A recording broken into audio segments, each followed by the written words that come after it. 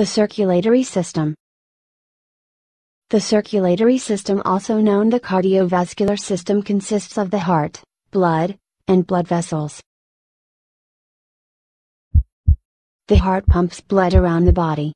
The blood goes to other parts of the body in tubes called blood vessels. Arteries, veins and capillaries are the three types of blood vessels. The veins carry oxygen poor blood, from other parts of the body, to heart. The arteries are the blood vessels, that deliver oxygen-rich blood from the heart to the tissues of the body. The capillaries are very small blood vessels that link veins to arteries. The heart has four chambers, the two upper chambers of the heart are known right atrium and left atrium.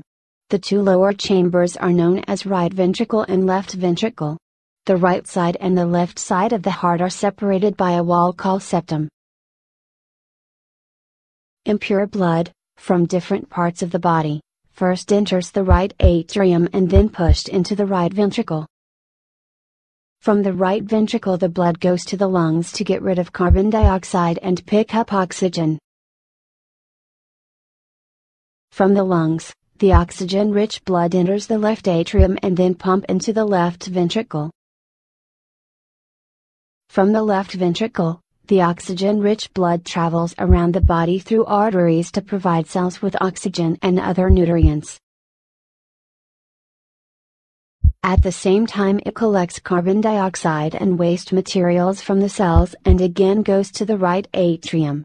And this way the blood circulation continues in the body.